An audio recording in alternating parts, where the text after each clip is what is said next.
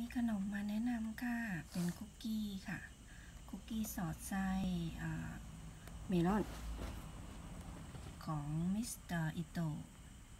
Languly ในกล่องนะคะจะมีแบ่งเป็นกล่องเล็กๆ ก็ประมาณเนี้ย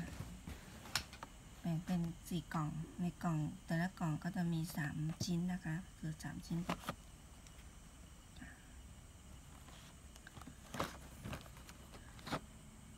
เป็นของฝากค่ะ ในราคาประหยัดนะคะที่ในซูเปอร์ก็อ่าราคา 158 เยนสองกล่อง ถ้าซื้อสองกล่องลดราคาเหลือ 280อืมเนี่ยคุ้มมากค่ะ เดี๋ยวดูข้างในนะคะ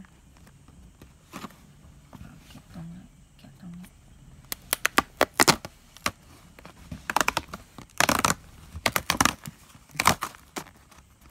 แกะออก มาก็จะแบบแบบนี้ค่ะ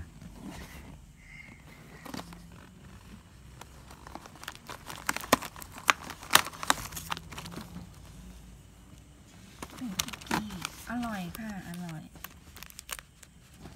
เบาๆนะคะมันไม่หนักเดี๋ยวนะมือเดียว แกะมือเดียว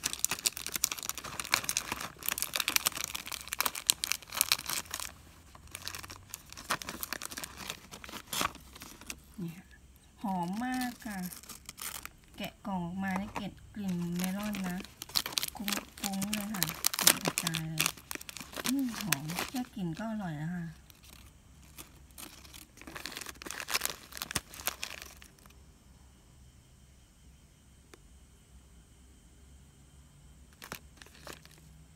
หอมมาก ๆ ค่ะ ยังไงใครสนใจ ลองไปหาดูนะคะ ในอเมซอนก็มีขายค่ะ แต่ในซูเปอร์นะคะ อันนี้ซื้อมาจากเซยูอย่างที่บอกกับกล่องหนึ่งก็ขาย 158 เยน ถ้าซื้อ 2 กล่อง มันจะได้ 280 ค่ะ ลดมานิดนึง ถ้าซื้อของฝากเยอะๆเนี่ยแนะนำเลยค่ะ ไม่ต้องซื้อแบบกล่องหลายร้อยแฮก นี่ก็โอเคค่ะ